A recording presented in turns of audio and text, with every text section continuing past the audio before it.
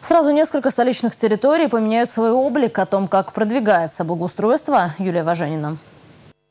Чебоксарская набережная – одно из самых красивых мест в городе. Излюбленное место отдыха в ближайшие три года изменится до неузнаваемости. Реконструкция поделена на четыре этапа. Первый должен завершиться уже в этом году.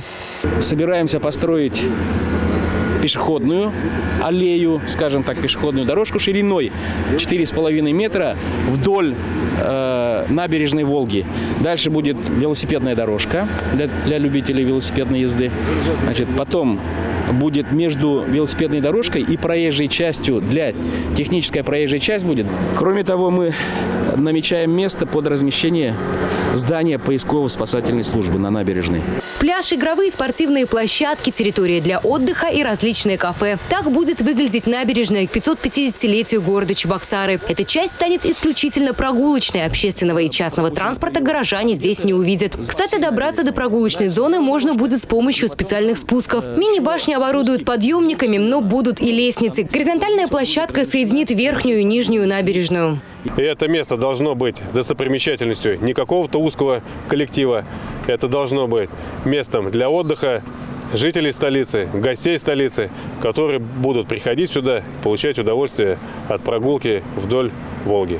Существует легенда о подземном тоннеле, соединяющем бывший Никольский собор с храмом на Владимирской горке. Якобы под Кремлевским холмом существовали целые улицы. Скрытые от посторонних глаз, они соединяли важные объекты. Также под землей, возможно, в неспокойные времена хранились ценные реликвии. Так называемый вход в подземный город сейчас оформляют под старину с учетом исторических особенностей. Там будет уложена древняя брусчатка, воссоздан внешний вид каменных стен. Уже в следующем году здесь откроется полноценная декоративная площадка и зона отдыха для горожан и гостей столицы.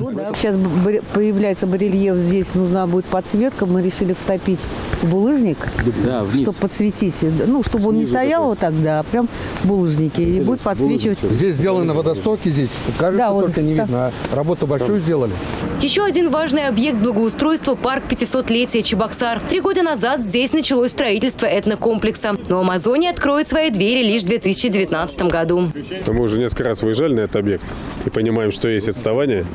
Но тем не менее до начала зимы должны завершить этот этап, должны проложить брусчатку, закончить подведение инженерной инфраструктуры. Это вода, свет, газ и запустить освещение на этом объекте.